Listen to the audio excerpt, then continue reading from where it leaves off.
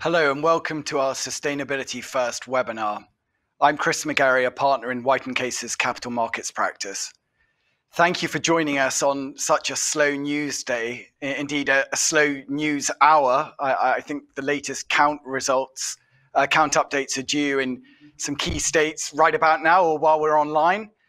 Um, if Joe Biden is confirmed as the next president, that will be another huge boost for sustainability not least with Joe Biden's commitment to rejoin the Paris Agreement, which uh, the US exited earlier this week. Before I introduce our all-star panel, a few housekeeping points. Uh, we're hoping to have some time for Q&A at the end of uh, the panel discussion. So please can you submit your questions using the Q&A function on the platform, which hopefully you can all see. We'll also be doing some live polling as we introduce each of the four topics uh, to the panel this evening. Uh, if anyone experiences any technical issues, um, please would you email EMEA events at whitecase.com. That's EMEA events at whitecase.com. And lastly, as a reminder, we are recording today's webinar and copies of the recording will be available after the event. So now it gives me great pleasure to introduce our all-star panel uh, as I've already told them, I was getting in the mood for today by watching them all on YouTube. Um, so, first, I'm delighted to introduce uh, Olivia Albrecht, who's PIMCO's head of ESG business strategy. PIMCO is arguably the most influential sustainable investor globally. It's not just their 2 trillion, and that's trillion with a T, dollars under management, uh, but for their thought leadership in this space, not least developing the SDG business model. Next, delighted to welcome Sean Kidney. Sean is the Chief Executive of the Climate Bonds Initiative uh, and also an EU Commissioner. In that latter role, uh, Sean was one of the chief architects of um, the EU's new taxonomy regulation. More on that later. Next, we have Anjali Pandit, who is BNP Paribas' primary sustainability manager. Anjali is also a YouTube sensation. Um, and then we have Felipe Fernandez Mendez, who's a treasury director at Tereos. Tereos is a French Brazilian ethanol and agri business uh, with whom we've recently worked on their sustainability linked offering. And last but by no means least, I'm delighted to introduce my partner, Claire Conlon from our litigation practice. Claire is also head of the firm's business and human rights practice. So, what is sustainability? The UN defines sustainability as meeting the needs of the present without compromising the ability of future generations to meet their own needs. Sustainability has three core objectives. First, arresting climate change. Secondly, protecting life on land and below water. And thirdly, delivering equality as the key to transitioning us to a fairer global economy. The three key factors driving sustainability today are first, capital. Some $30 trillion and rising is already committed to sustainable investments. We need to invest something like $100 trillion over the next decade for the sustainability transition. Now, that's a lot of money. But the good news is that private wealth today stands at some $400 trillion. So we have enough money. We just need to put it to use. Secondly, regulation is going to play a key role and already is, with the EU leaving, leading the way. We obviously have great reason to hope that if Joe Biden is the next president, that the US will play catch up in that regard as well. And thirdly, the other key factor in driving sustainability forward today is all of the stakeholders, not just the investors, but all of you consumers out there, governments too. And we know that sustainability is the priority issue for Generation Z or, Generation Z for our Amer- American audience members, uh, for millennials, Generation X, and even some enlightened boomers like Sean. Um, lastly, by way of introduction, the recent decision by the European Central Bank to start buying sustainable assets with new money from next year paves the way for issuers in all industries to join the party. So if we can have our first polling question, um, and please, we, we invite your participation in that as we move on to the first topic for discussion this evening, the market opportunity for sustainable capital today. If we can start with you, please, Sean. Um, sorry, I thought there was a polling question. I was all prepared to vote. oh, okay. Sorry, Sean. I, well, I can read out the polling question for you. Um, have no, you that's okay. That's okay. I'll dive. I'll I'll dive in. okay, thank you. Look, we have a situation where this is a bit more than just do we want to be nicely comfortable and sustainable in 30 years' time. This is a situation where the house is on fire. The house is on fire and the kids are inside. And we've got to get them out. According to the climate scientists we know, we have like 10 years to get emissions down 55% on average globally, not just in Europe, on average globally, or else we literally do not have a reasonable chance of any kind of sustainable, let's call it livable future for our kids. That's what's at stake here. And every minute that we allow the situation to continue to get worse, which is what's been happening for the last 30 years, is another minute that we have to claw back in that 10 year time frame. So I, I want to say, you know, sustainability can mean a lot of things, right? When I'm comfortable lying in the sun and having a bit of lunch, sustainability is more of those lunches and more sunny days. When my house is on fire and the kids are inside, sustainability is getting the kids out and stopping that fire. We need to understand that right now where the house is on fire. That's exactly what we've got in front of us. That requires rapidity of action and it requires hard decisions about what to do and what to not bother doing now until we get the rest sorted out. That's my first point. The good point is that in that particular mix, we know what to do. We have the solution set in front of us the clean energy, the electric transports, and so on. And as you say, hey, we've got the capital. I mean, how lucky are we? We've got the capital, that 400 trillion you mentioned. So, really, the job's really simple, right? It's for bankers, it's for lawyers, it's for treasurers of agri companies in, in Brazil to just make the money flow to the right places. That's the job. And that makes it so achievable that actually I get up every morning of hope because I think this can work. And we've got proof. You issue green bonds, you issue sustainability linked bonds like Tereos, and investors flock to them.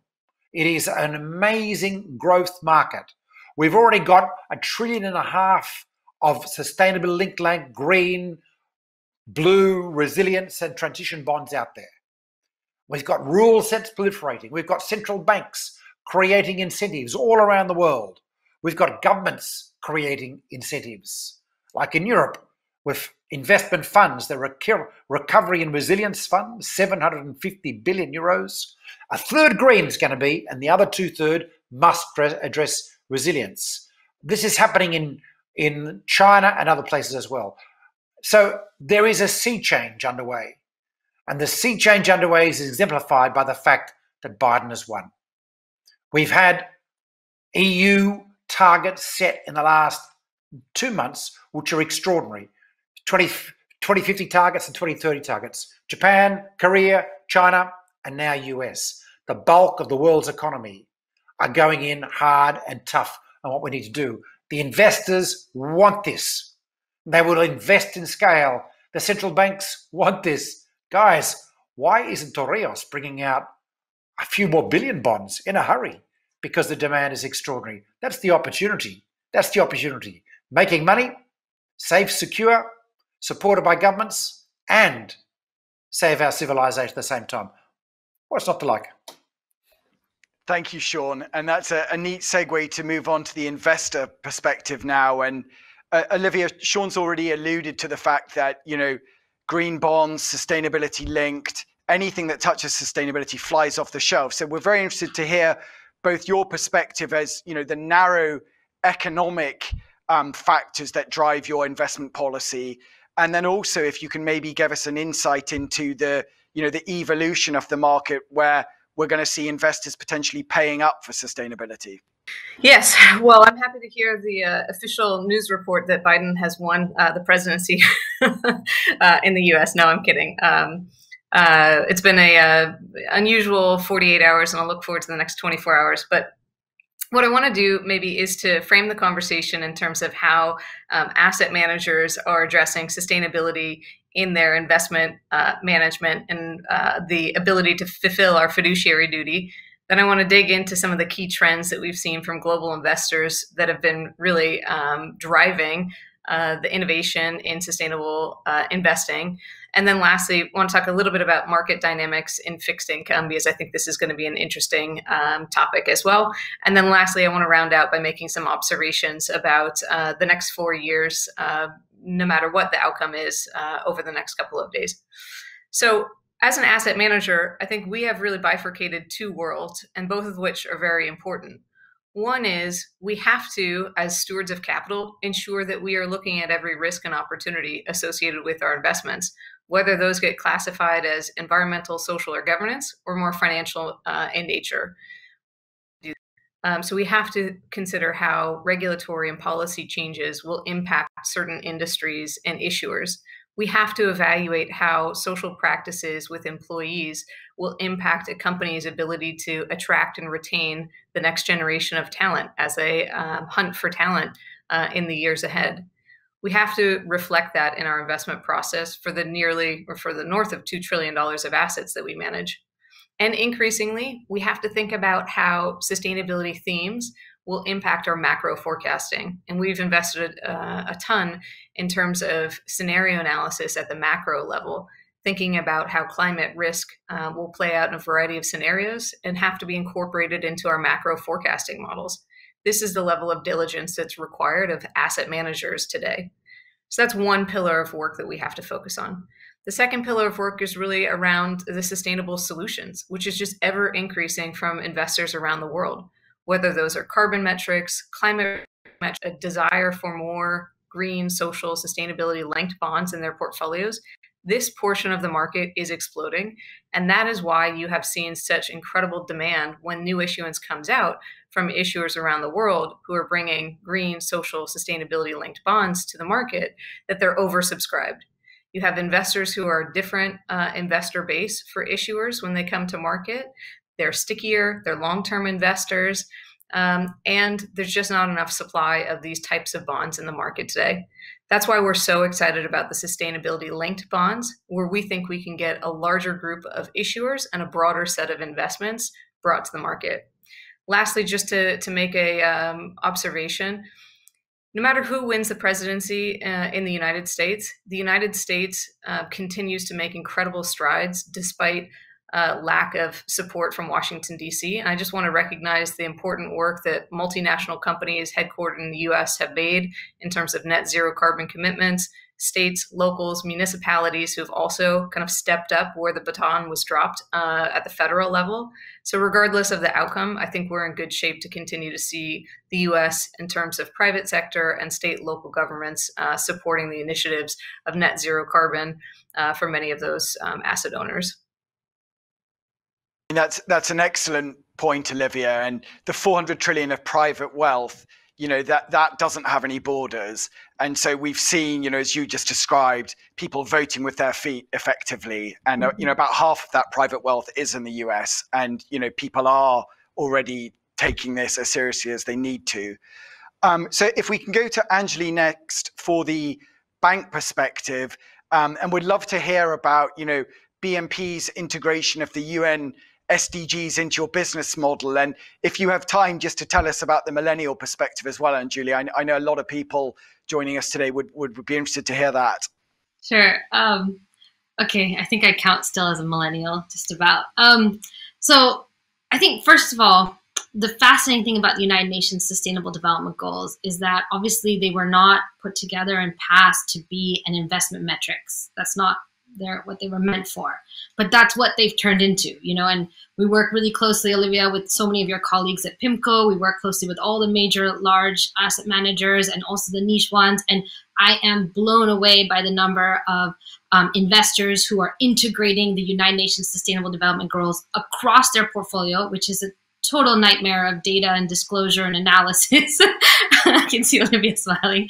Um, and even harder, to be honest, is for companies. You know, in Tereos, you guys know this really well. You're close to it on the ground. You know, trying to understand what the Sustainable Development Goals mean in every jurisdiction in which you work, in the very local, regional context that is so unique and and so different, and trying to explain that to investors all over the world.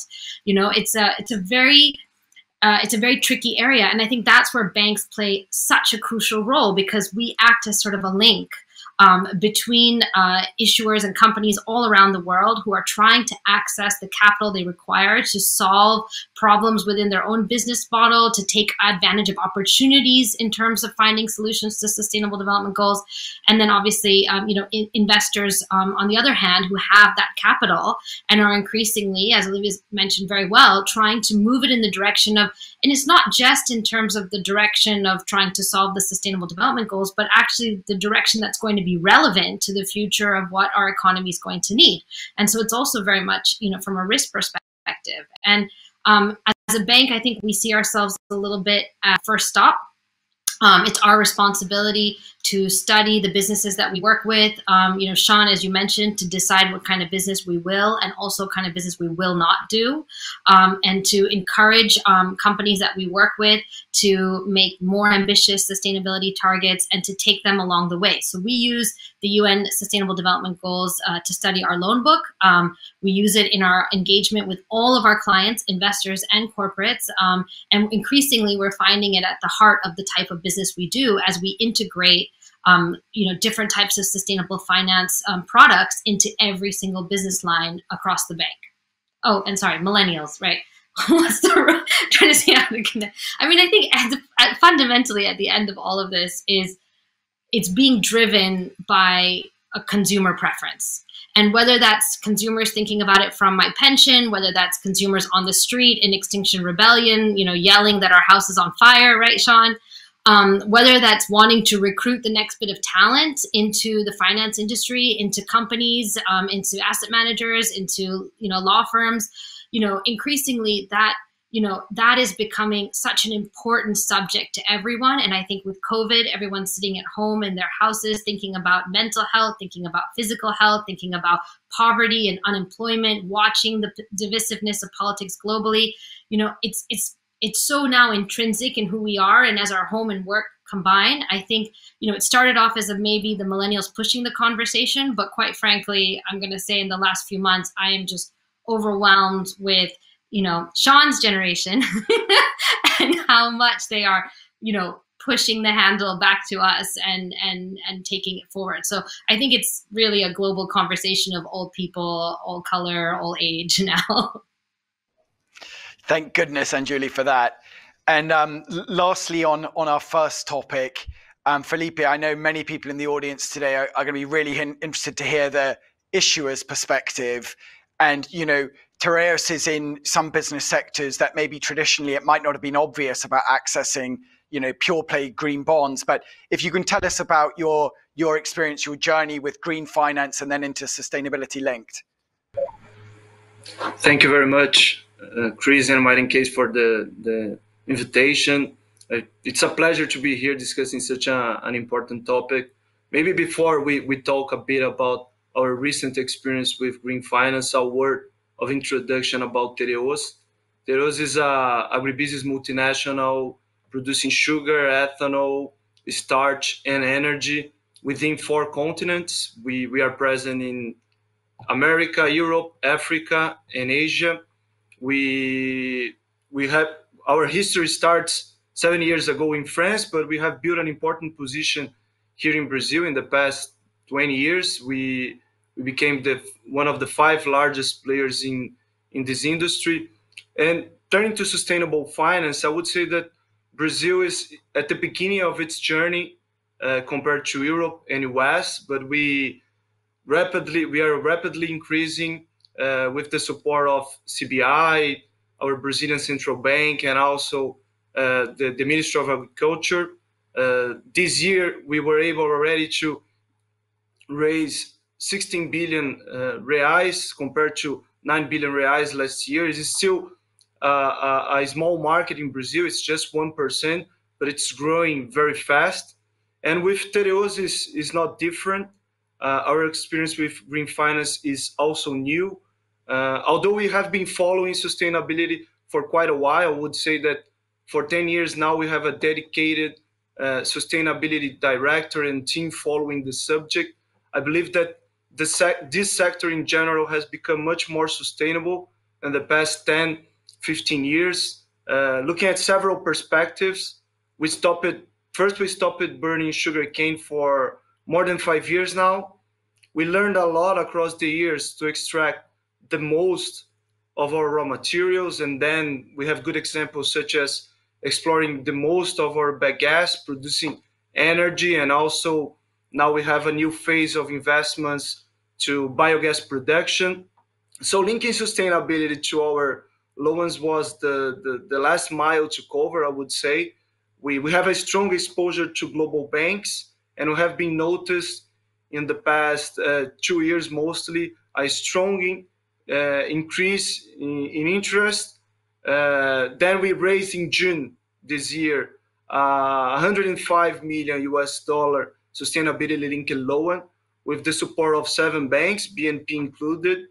Uh, and we were very glad to be the first company in this industry to, to issue a, a green loan in Brazil. So uh, this was quite happy for us.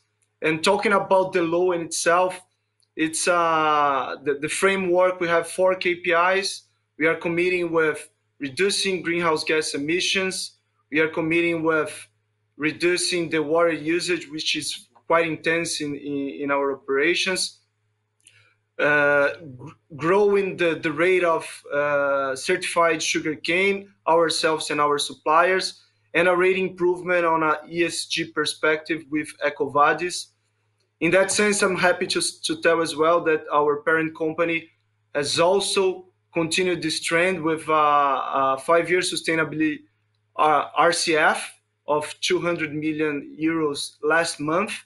And just to, to, to close my comments, since this first year, we, we decided to always challenge ourselves when it comes to structured operations. Why not go for a green financing? And I'm happy to tell you that uh, right now we are working on two tra- green transactions. The first one is a capital market transaction, and the second one is uh, a 12 year financing with a development bank. So this trend is, is something we, we really want to, to keep for, for the future. Thank you, Felipe. And if we could please see the results of the first polling question. Okay, so we're, we're already preaching to, to uh, the choir to a reasonable degree. Hopefully, the other 27% uh, will have persuaded you uh, to change your answer to yes uh, by the end of the session. If, um, if, if, the audience could please take a, look, take a look at polling question number two now while, while we move on to topic number two. So, very clearly, climate change is the most time critical and, and the number one priority of sustainability. But something we've seen, and, and Anjali and Olivia uh, mentioned it in their opening remarks, that the global pandemic has accelerated some of the wider uh, sustainability issues as well. We've seen with the Black Lives Matter movement, um, gender equality is also critically important uh, to that. So, um, what are the sustainability priorities after climate change? And Claire, if we could start with your perspective, please. Thanks, Chris. Good afternoon. sustainability can mean a lot of different things uh, to different people. And I think we've heard a number of those already. But just thinking about the Sustainable Development Goals, there are 17 goals, and climate action is, is one of those. And there's a lot of interconnected um, actions that can be taken when you, when you look at all 17 um, of, of those goals. Um, they range from eliminating poverty to good health, well being, education, and reducing inequalities, peace and justice, and strengthening institutions. Um, and many of those SDGs relate to um, protecting human rights. And I think you can't talk about the SDGs in total isolation. You need to think about them alongside the UN guiding principles uh, on business and human rights. It's not an either or SDGs or UN guiding principles. They're, they're part of the same um, interwoven fabric. And the, the, so the UN guiding principles are a set of guidelines for states and companies to prevent and address human rights abuses committed in, in business operations. They grew out of um, a three pillar framework um, called Protect, Respect, and Remedy. Uh, the three pillars being protect the unequivocal duty of states to protect human rights, respect the responsibility of businesses to respect human rights, and remedy the fundamental right of individuals and communities to access effective remedy when their rights have been adversely affected by business activities. And underlying all of this is the recognition that businesses can impact human rights in their operations, not only their own employees, but also consumers and communities where they operate. And that impact on human rights can be positive, um, and it could be access to education, one of the SDGs, but it can, of course, also be negative from pollution, forced labor, evictions. So, climate change and climate action is critical, but the UN guiding principles affirm also the responsibility of business to prevent, mitigate, and where appropriate, remedy human rights abuses that they cause or contribute to. And that's critical for sustainability. So, I mean, the Office of the High Commissioner on Human Rights issued the statement that human rights create conditions essential for sustainable development. And since the um, UN guiding principles were published, the business and human rights landscape has seen dramatic transformation. And companies are now facing the task of navigating these risks in different jurisdictions um, and opportunities in an environment where jurisdictions are steadily turning the, the soft law or principles eh, and other voluntary initiatives into hard law, uh, mandatory requirements. And the, the drivers for that change are coming from different directions. Um, investors, certainly, investor pressure is, is having a big impact on corporate uh, behavior change. Um, for, but for businesses to realize their contribution to sustainable development, it necessarily will require effort to include respect for human rights as part of that strategy. Thank you, Claire if we if we can move to Olivia next for the investor perspective on you know the other SDGs you're tackling, and you know one of the options in the polling question the audience are looking at now is on pandemic mitigation, and I think it's on the doodle that somewhere that hopefully people can see on screen. But we saw the EU's recent 17 billion pandemic relief, but um, you know, and we know.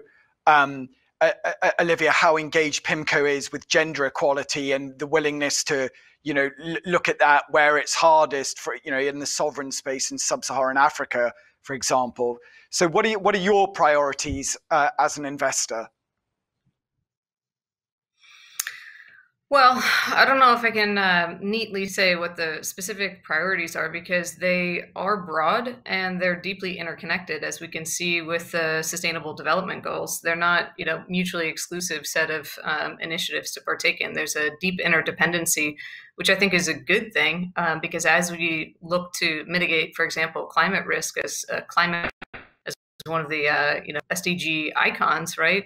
alongside you're likely also addressing um, you know clean water access to uh, you know reduction of inequality in some instances i mean they're all kind of deeply interconnected uh, particularly with biodiversity and, and climate risk in particular i guess maybe one observation that i would make is to contextualize the efforts around sustainable finance over the past several years and then where we are today in 2020 because I think for probably many of us uh, on the line today, I think there was a concern in, in March and April as we hit the kind of hopefully the apex of the uh, global pandemic that all of a sudden we would have a pullback in the commitments for climate change and climate risk, whether there were net zero commitments or asset owners making commitments for their long term uh, portfolio allocations to be better aligned to uh, net zero uh, or Paris alignment uh, we felt like there could be a pullback um, with the needs that were going to clearly come due with COVID 19.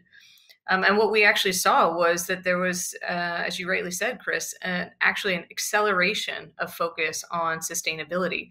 But it was a broadening out of what those sustainability factors were to evaluate and consider. Uh, we saw a, a reduction uh, for a period of time in green bond issuance. But to take its uh, position uh, and broaden it out in terms of issuance, we saw more social bonds being used. Again, green bonds being used to finance use of proceeds projects focused on renewable energy, social bonds being use of proceeds bonds that were focused on specific social initiatives, programs, etc. And we did see you know, corporations, sovereign issuers, municipalities, even nonprofit organizations, with the Ford Foundation coming out with a social bond that sought to address um, uh, uh, and reduce uh, inequalities across the globe uh, and uh, focus on COVID 19 kind of response and recovery. So we saw this kind of social bond movement kind of pick up.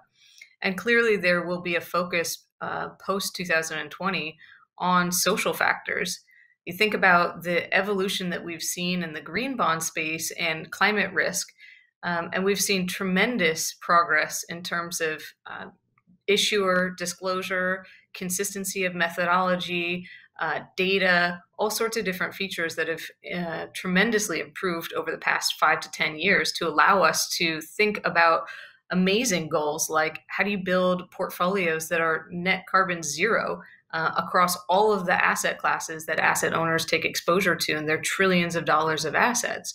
Uh, we can do that because we have good data, and that's because we invested hard over the past five and ten years and more to figure out the right lexicon and the right, um, you know, methodologies and frameworks for evaluating these data sets.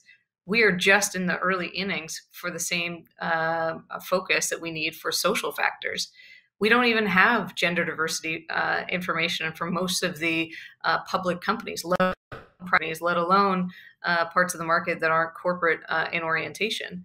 Today, less than uh, less than 15% of the S&P 500 companies disclose information around gender diversity across their management ranks. Uh, less than 10% are showing that data across racial diversity within their management ranks and less than 5% are even giving you information around um, employees that may be uh, disabled or other kind of minority re- represented groups.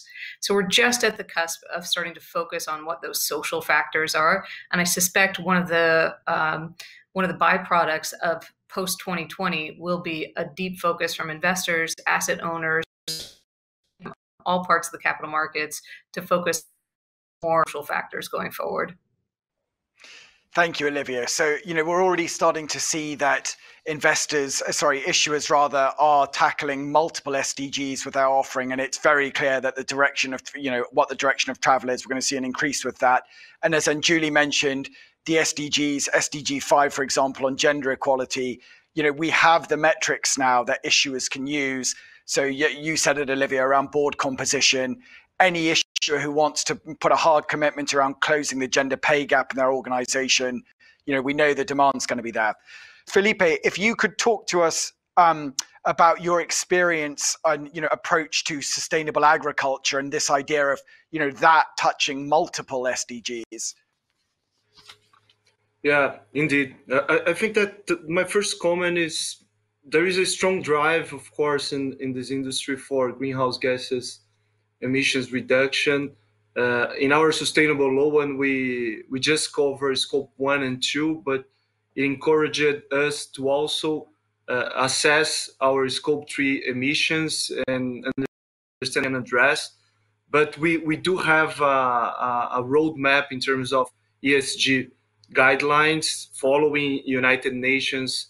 Uh, and today we have four pillars. The first one is positive industry, and this is really more related to uh, committing to reduce energy consumption, uh, uh, water usage, which is very intense in the operations, greenhouse gases emissions, and also increasing the, the use of waste.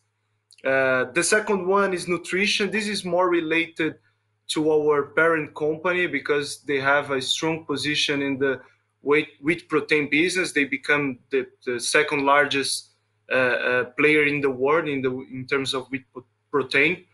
The third pillar is people and communities, and here, uh, since reducing accidents in the operations, and we have done a good job in that sense in the past, and also to promote gender equality.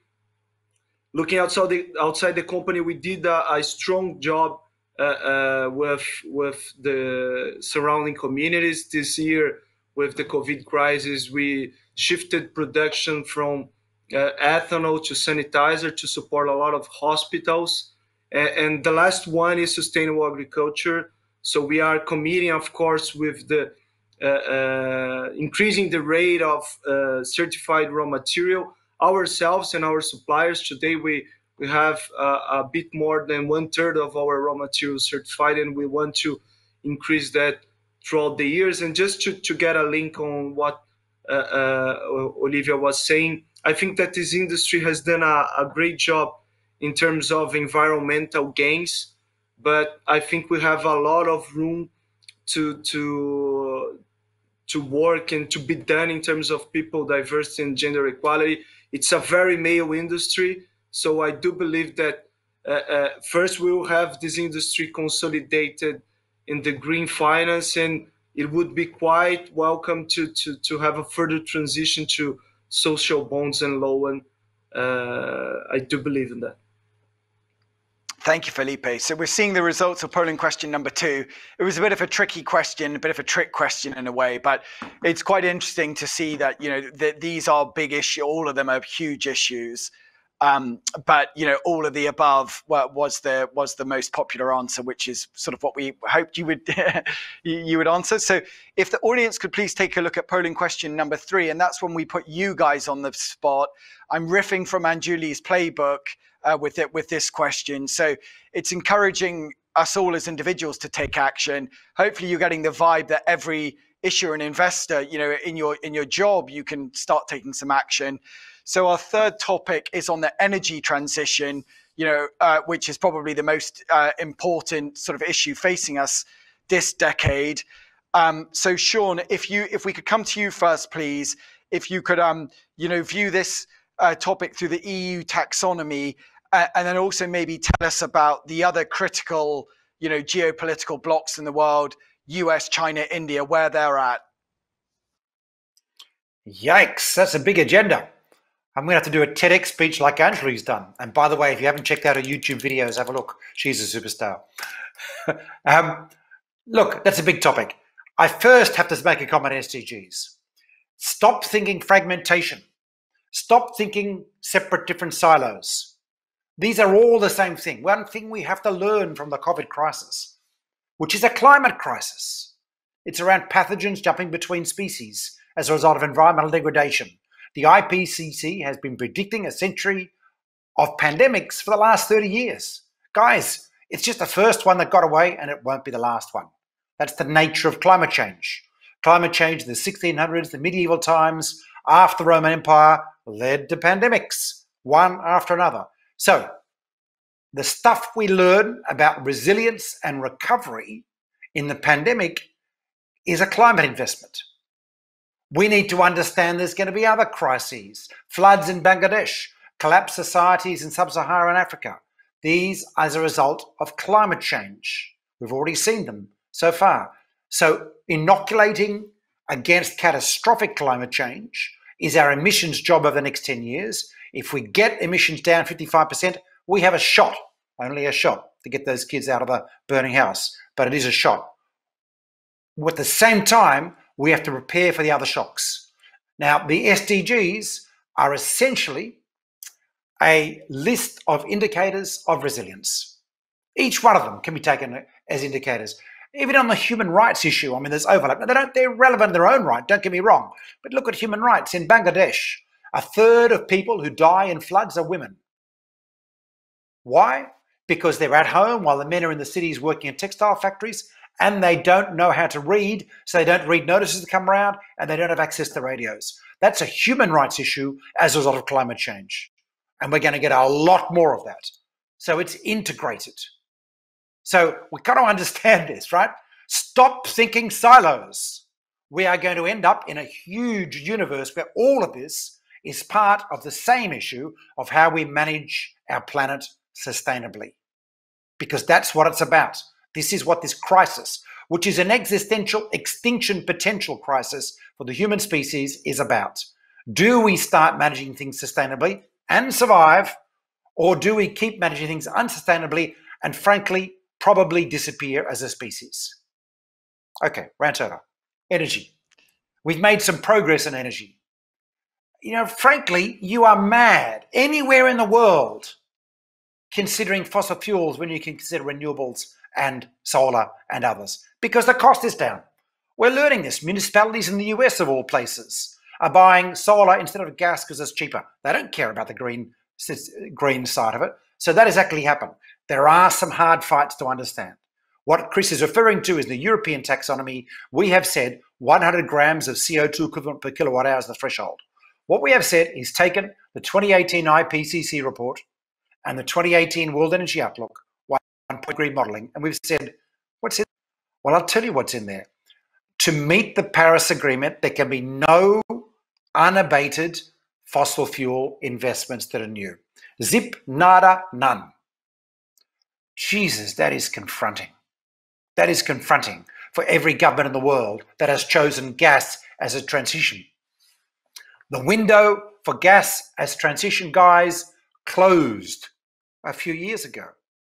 And we have we're, we're just catching up with it. That is what the taxonomy says. That is now what we have to get used to around the world. It is tough. It is challenging. The, Euro, the Chinese taxonomy governing the green bond market in China has come out excluding fossil fuel generation. The ASEAN Capital Markets Association, it's the regulators, green bond guidelines excludes fossil fuel generation. I had a little argument with my friend of HSBC on a forum this morning in Hong Kong.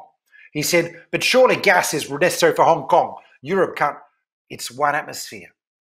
Now, there will be regional differences around sequestration, land use, and so on. But when it comes down to energy, we kind of need to understand the house is on fire, turn off the gas, guys, turn off the coal. It's not a hard thing to understand. The European taxonomy is making it super clear.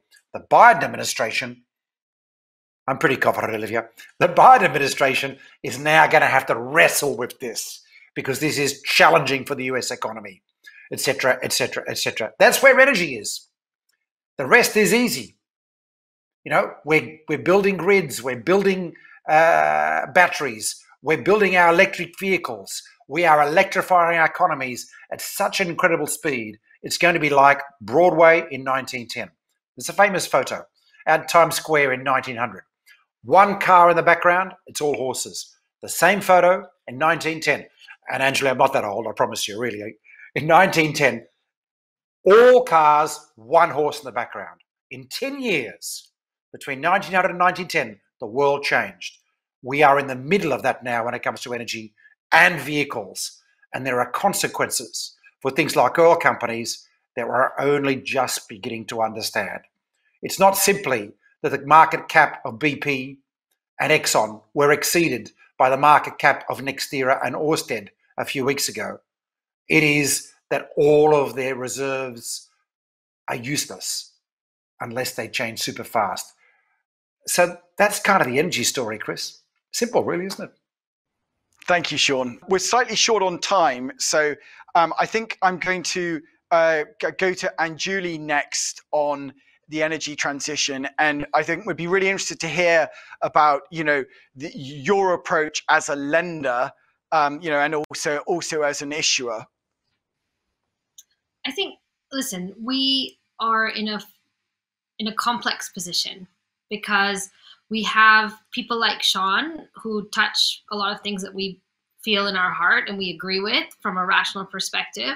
Um, but we also have lots of clients that aren't necessarily able to make such a drastic change in the the time span that you know people are asking them to do. And and then we have obviously investor clients like PIMCO who um, who we really respect because we know they're doing such a detailed, thorough analysis, and they're coming from a place that's full of the data and what they're asking from issuers. And so we are in this position where we have to find a way to combine the judgments of investors, of experts, of science, of regulators um, to help all of our clients make a decision on what they're going to do and to accompany, accompany them on that journey. And that means that sometimes we have to let them know that their access to capital is extremely um, in danger, both from us as a lender um, as well as from the market. Um, and we have to explain that reality.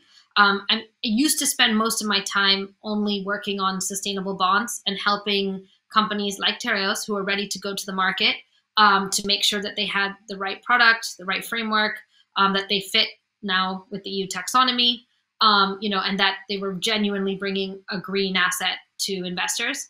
Um, but now I'm actually spending a lot of my time uh, with issuers that want to do conventional issuance and are concerned about how they're going to be viewed from a negative screening perspective.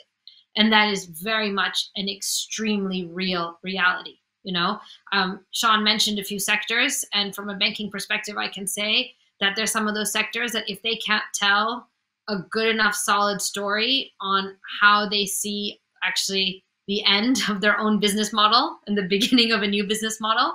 Um, you know we we are very clear to them that there's a larger everyday and increasingly large group of investors who are going to struggle providing you capital in the medium or long term.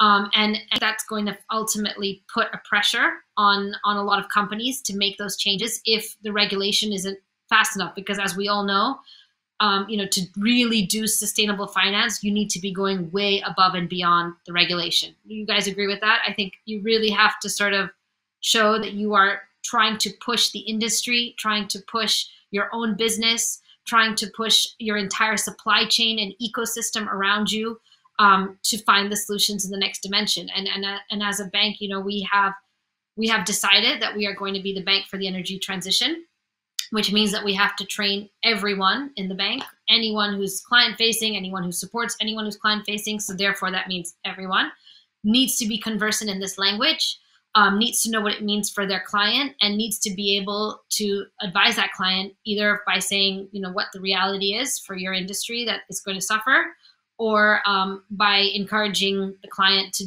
to make that change and provide them vehicles for new types of finance for all the positive things that they're doing. Thank you. And you know, something that um, a few years ago, another bank, ING, they, they wrote to all of their commercial real estate borrowers and said, "We're not going to renew your loan uh, unless unless you um, make the property energy efficient." And at that time, people thought that was you know some sort of commercial suicide. But as you know, Sean has so vividly explained, we're at a point where you know it, we are having to make sort of binary decisions. Um, but with the sustainability linked model, you know now everyone can you know get your board and um, you know use the capital that's out there to go on the transition, which will reduce the issue of you know stranded assets, etc. So if we um, you know it's great to see the results of polling question three there. Um, you know the vast majority of our audience are doing something on a personal level to make a difference, which is great. If we can have our last, po- um, our fourth polling question now, which we're hoping is really going to illustrate something that we've you know been talking about so far this evening that it's very apparent to all of us um, that the you know greed is good model is over it you know arguably it served its purpose at one time but we're way beyond that now. Uh, so you know the fourth polling question there we'll be interested to see your results. Um, so our fourth topic is on risk management. We've been talking a lot about the financing piece um, but there's also, you know, sadly, risk management has several dimensions now. Um, you know, Claire, if, if, if we can if we can start with you, and uh, you know, Halloween's just passed, um, but you know, for any issuers out there, corporates out there who are engaged in non-sustainable practices, you know, what are the messages um, that you have from them? You know, from courts around the world, and um, you know how they should be approaching some of these issues. About risks, you should you should also talk about opportunities. But I've got limited time, so I'm just going to focus on three broad categories of risks, um, and I th- there are there are many. Um, so in my my three categories are transparency and due diligence, litigation risk, um, and reputation risk. So on transparency, I think we've we heard from Olivia. A lot of investors are now looking at um, a, a, wide range of metrics when they're looking at it, investing um, in in companies, and some of those are voluntary. Um, you and some of them are, are mandatory, um, and then and more are on the way. So the at the EU level, the European Commissioner for Justice um, Didier Reynders announced in April this year that there would be proposed legislation for mandatory corporate sustainability due diligence. Um, and the report um, for that proposed legislation has now been published in September that makes specific recommendations for a directive to implement mandatory human rights, environment, and good governance due diligence legislation. And the, the aims being stated to, to ensure harmonization, legal certainty, and the securing of a level playing field. And there are proposed to be civil penalties for failure to comply and possibly criminal penalties as well. Um, in the UK, the government has announced uh, measures that will bolster the reporting requirements under the Modern Slavery Act, under which large businesses must issue annual statements on the steps that they're taking to ensure modern slavery doesn't exist in their supply chains. Uh, the question of penalties uh, hasn't yet been addressed, but it will come back um, where, when we look at the civil uh, single enforcement body at some point next year. Um, the, uh, the, many other countries are now introducing um, other transparency measures. The Australian Modern Slavery Act, there's the Netherlands mandatory child labour due diligence.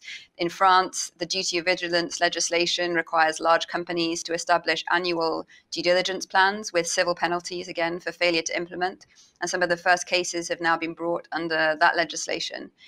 Um, and, and, as I say, more is on the way. The UK government has also recently announced a proposal for supply chain due diligence for commodities at forest risk related to illegal deforestation. So some of these laws are already in force, others are being strengthened, and others still in consultation phase. But the direction of travel is clear. There's increased scrutiny uh, for corporate impact on the environment and human rights. So, second big category of risk litigation. Um, cases are now being brought, brought against companies for the adverse impact that they've had on human rights and the environment. A landmark case in the UK last year, the UK Supreme Court confirmed that a UK domiciled parent company can owe a direct duty of care to third parties for the actions of their foreign subsidiaries. The, the, Vedanta case, the, the, the, the Supreme Court has confirmed that that duty of care can exist. The mining and tech sectors have been a particular focus um, for, for some of this legislation. There have been cases in the US, um, UK, Canada. Uh, and and uh, and France and, and elsewhere, and an increase in climate-related actions are now being brought as well. That's putting pressure on legislators and regulators claims being brought against energy companies and governments. Um, causation will remain a key hurdle for these sorts of claims. Um, but they're, they're, they're ranging from direct impact for damages um, to failure to disclose. So, linked to the transparency first category, claims are being brought by shareholders um, and others with standing that, that, for companies that have failed to disclose climate risk. Um, and, and that will continue, even allegations of fraud if companies have failed to disclose those risks. Um, arbitration is now uh, recognized as a potential forum for issues related to climate change and the environment. The ICC has a task force for the arbitration of climate change related disputes, uh, and, and there will be other fora that will exist. So, third big category, I'm running out of time uh, re- reputation and market opportunity. So, linked to the, even when there aren't claims being brought, corporate behavior is being influenced by impact on reputation and market opportunity through other pressures. Various stakeholder groups, um, groups of investors acting uh, together, consumer action, boycotts, um, in M&A and refinancing transactions, we're seeing that due diligence is revealing risk that's impacting price um, and industry voluntary schemes. Um, again, mining sector, tech sector have examples that if you are not um, participating in some of these schemes, it can close off market opportunity. Thank you, Claire. And Sean, if we could come to you briefly now to tell us about, you know, unfortunately, the countries where actually arresting climate change, it's too late. So we're already on to, you know, mitigation defense. Well, sorry, Chris, I'm not quite sure what you're getting at there. I mean, yes, it is too late in many places the world, we will see a, a drastically different world for our children. That's the truth of it. Miami will disappear um, as a livable city, and etc. etc. And that's the place that can afford to survive, right? That doesn't. You don't get the same situation if you're looking at Dhaka or you're looking in in um, Lagos or places like that. So uh, there's going to be a lot of very tough stuff happening. Uh, my hope is that even if we fail on our climate, objectives, our emissions reductions, and you know by failing I mean failing catastrophic climate change, and I think we've, we've still got a good shot at that. Then we will at least learn to work how to, learn to work together better. You know, I think our hope has to be that the thing we learn by tackling climate change as a species, as a planet, how to solve problems together for each other, is that when crisis comes, we learn to help each other and support each other. If we don't do that, all is lost. Hmm, frankly, we don't deserve to be a species in this planet if we don't learn to do that anyway. And so that's what I look at. But I want to say, not all is lost. We've got 10 years, guys, to get emissions down. Now we've got to address a whole lot of other stuff, but emissions, if we don't get emissions down at least 55%, everything else is lost. Everything else you have imagined about E, S, and G is gone because our economies go, our politics go, we get Trumps on steroids. Sorry, I didn't mean any disrespect to my American friends. It becomes a crazy politics, a crazy world on a decline, a bit like the Middle Ages, the Dark Ages after Roman times, with perhaps even more severe consequences. Uh, in the sense that we don't know whether humans can live at 1,000 ppm, which is what's currently projected by 2100. We actually don't know the species can survive. We do know we become a lot stupider. Our brain functions become slower. So as we get more emissions, our brain functions become slower. Logical. So that's what we got. We've got the money, guys. We've got the money. We've shown this last year we can mobilize the money. We know what to do. There's no rocket science. Forget R&D. It's rubbish. We can shift our economies, and there are many examples around the world now, like South Australia, which has gone entirely clean from being a very dirty economy 15 years ago. We can do this around the world, and we can do it around our sustainability matters as well. We can create fairness for all. It's not actually hard. We've done it in many different sorts of countries, but I'm just going to say there's a clock ticking for all of you out there. Run, don't walk. Thank you, Sean. So, uh, with an eye on the uh, on the clock, if we could just come come to you, Olivia, last for the final sort of investor perspective, with uh, maybe a note of, of optimism for, for uh, from you after that.